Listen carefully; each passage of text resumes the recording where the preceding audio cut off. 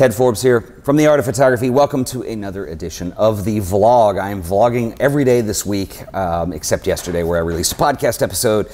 And uh, anyway, on a dare, I'm doing a vlog. So if you're not sick of looking at me yet, um, uh, we are doing an episode every day this week. This is different than the regular podcast. I will probably do a vlog episode tomorrow that goes into the podcast feed uh, because there are a great number of people who watch this on iTunes only and they don't even know the vlog exists. They won't follow me on Twitter. I don't know. Um, so anyway, so we'll probably do something like that. Um, I've been kind of running off the cuff most of the week. I think most people have been enjoying that.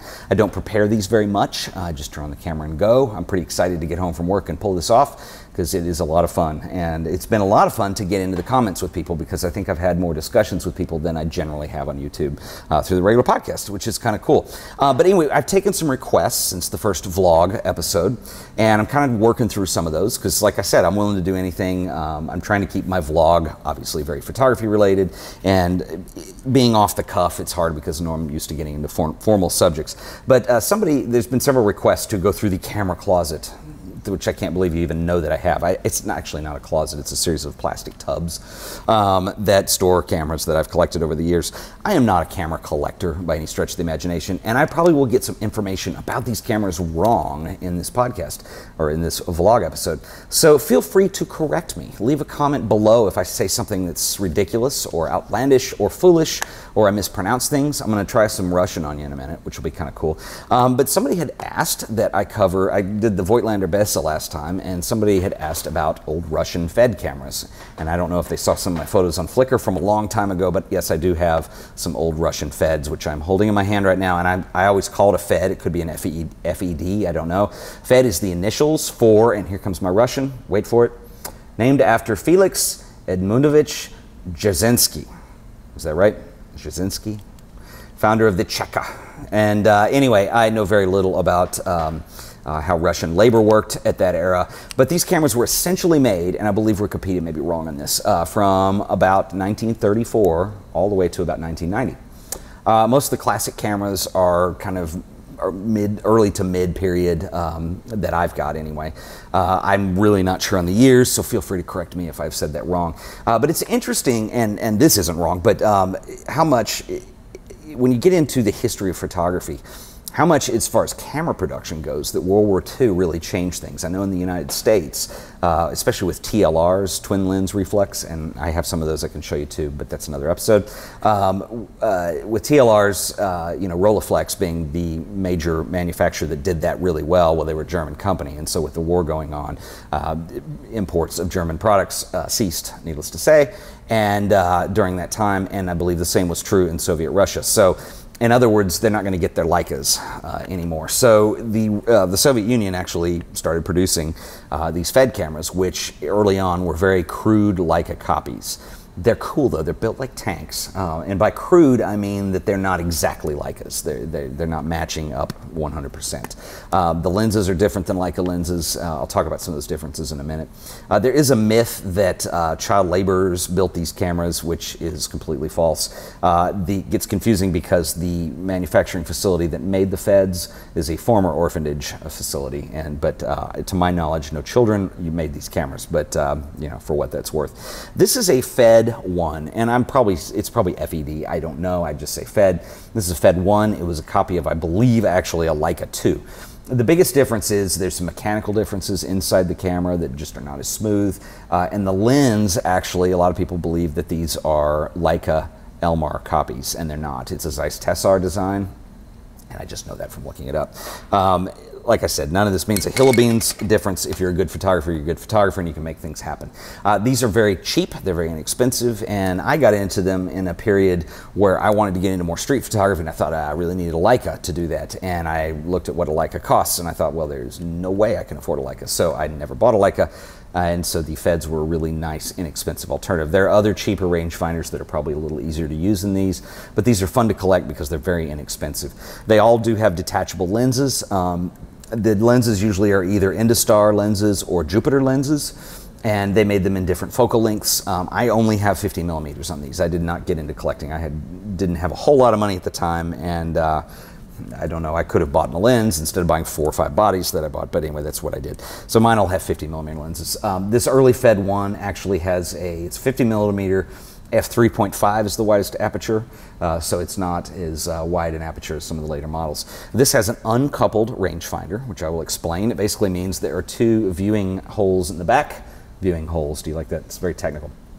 So you can look through these. One of them, much like the Bessa that I showed you yesterday or two days ago, uh, one of them is for focusing and the other is for composing your image. Uh, they do not have built-in light meters. You need a meter on your own. Uh, you can, it does have a cold shoe on the top, and so if you can find an old Leica meter that still works or something like that, you can certainly use one on here. Um, I never did. I'd use Sunny 16 or I'd meter with, a, with my handheld meter. Uh, but anyway, that's the Fed 1. Um, this is a very similar looking camera, as you can see, but maybe a little nicelier built. This is a Zorki. And Zorki is another big camera manufacturer out of the Soviet Union from that time period. Uh, Zorki were built in a different plant. They were not built in the same manufacturing facility. In my opinion, they do definitely feel different. And the Zorkis are a little easier to use. They're a little smoother. Um, and that's not saying much because they're both kind of like, you know, they could crush walnuts, uh, loud shutters, the whole thing. Uh, again, uncoupled rangefinder, which means you have two, they're not coupled. You have two uh, viewports. There's one for focusing and there is one for composing your shot. Uh, very similar camera, just a little bit different feel, a little bit different build. Uh, the Zorki factory later, I believe, became the Zenit factory, the Zenit, I don't know how to say any of these things, uh, which you can also find those cameras as well. Um, they're kind of closely related to Nikon's maybe, SLR format types of stuff. Uh, moving up a couple years later, this is another camera that I actually used a lot um, when I was shooting. This was my favorite. And this is the Zorki 3. And I did a little modification to this. Um, I'll show you another difference here too.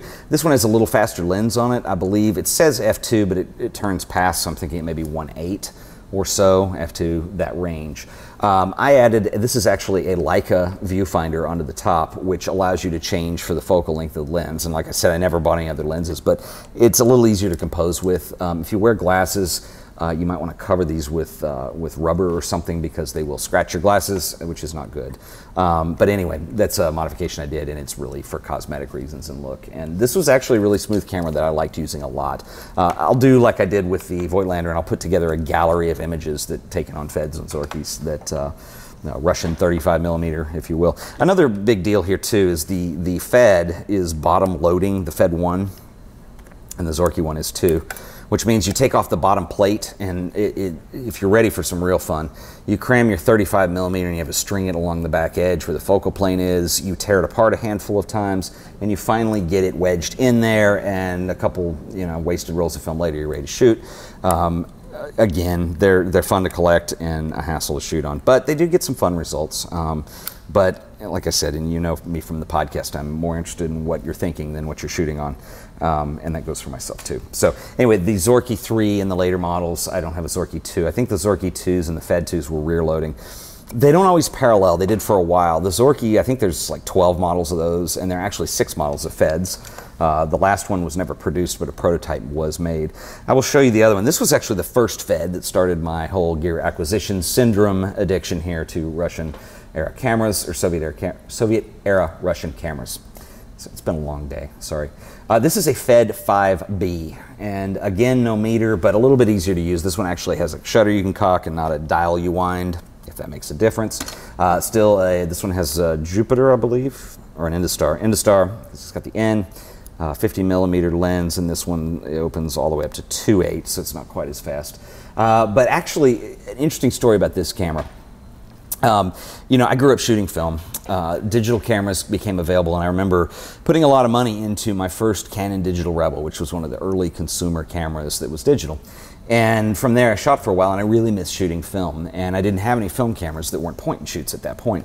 And so I really wanted to get a mechanical camera and, and kind of get into the stuff. Well, the Lomo stuff had come out at the time, and I remember buying two cameras on eBay, one of which was my first Holga, and the other which was this one. And I bought it for like $12, I think, from a guy in Ohio I don't know why I remember that. Uh, anyway, the Fed 5B, very cool camera. This one has a coupled rangefinder, which means, and the, the Zorki 3 did too, uh, which means you can compose and focus from one viewfinder, which is very handy. Uh, uncoupled versus coupled. Um, the technology to deal with parallax and stuff like that hadn't come along, and so anyway, the later cameras do have coupled rangefinders, which is nice because you don't have to move it around and you can shoot a slight bit faster. But again, no meter. Now, the Fed 5, there's a 5C, I think there's a 5, and there's a 5B, and I really don't know or care what the differences are in them. Uh, they're all kind of fun to use. Um, I believe it has to do with self timer, but again, correct me in the comments if I am wrong. There was actually a Fed 6, and the only reason I know this is because I looked it up on the internet, and if it's on the internet, it must be true, right? Uh, but anyway, um, I think it was Camerapedia or something says there was a Fed 6 another thing I can link in the show notes, uh, that had TTL metering, um, which actually was never produced but designed around or prototyped around the year 2000. So feds haven't been gone for long, actually, which is kind of interesting to me. But anyway, uh, Russian cameras, fun stuff. Um, you can find these, like I said, on eBay pretty easily. They're nice alternatives to something like a Leica. They're nothing like a, like a Leica. That's weird to say. They really aren't, and uh, even a vintage Leica. Um, Leicas and the, the, German cameras in general from that time period were far superior than anything else ever being built. Uh, but the war forced uh, importing to stop into various countries. So therefore, copies were made of things, and that holds true even for the U.S. Uh, with TLR design. But uh, if you're looking for something uh, that's kind of fun to collect, not very expensive, uh, and kind of fun to go shoot on, and I will say that these cameras are always fun conversation pieces. Uh, you show up with a group of friends with one of these, and everybody asks what the heck you're shooting on because it's got Cyrillic on it and all kinds of fun stuff. Um, so anyway, all that to say, that's Feds. And uh, like I said, tomorrow's vlog will probably be dual purposed, so the iTunes folks know that we're doing a vlog. And, uh, you know, again, in the comments, tell me if you want to see stuff. I'm happy to go through my weird camera collection of, of strange things. Um, you know, uh, it's been kind of a fun break from the, the regular podcast, and there's never a shortage of things to talk about. I've got some other subjects I want to cover on here too. I'm not supposed to be planning this because it's supposed to be off the cuff, but I also want it to stay photography related. And uh, somebody had asked me about the decisive moment, and I thought that might be a fun one to do uh, as well. So, anyway, but more camera stuff today, and uh, I thought you guys might get a kick out of seeing those. Um, I'm, I'm still stunned that you guys think I have a camera closet when really it's just a plastic bin over there that these kind of live in. Um, I haven't shot on them in a long time, and uh, no particular reason other than I'm, like I said, I'm more interested in, in what I'm thinking than what I'm shooting on these days, so I will opt for a more convenient camera. And if you're shooting professionally, um, these are really not very practical, but they're a lot of fun to use. So that is the Russian Feds and somebody correct me if it's FED and not Fed, uh, or if there's a different way of pronouncing it. I don't know. Uh, but anyway, uh, check out eBay if you're interested in finding some of those. Sometimes you have to pay for shipping, but you know you can you can find them fairly easily, and like I said, they rarely cost much. So anyway, all rangefinder cameras, all fun. Once again, this has been the Art of Photography Vlog edition. And uh, thanks again for watching. Leave a comment below. Tell me what you want to see on here. This is uh, this has been fun to finally interact with people and start a discussion because I'm doing these so often. Um, and it's been it's been a cool week. So we'll see you tomorrow. Um, anyway, well I've already closed it. We'll see you tomorrow. I need a sign off. Like uh, anybody ever watch the Tom Snyder show? He always used to say something like "fire up a colortini" or something like that. Anyway, we'll do that another time. All right, guys. I'll see you tomorrow. Later.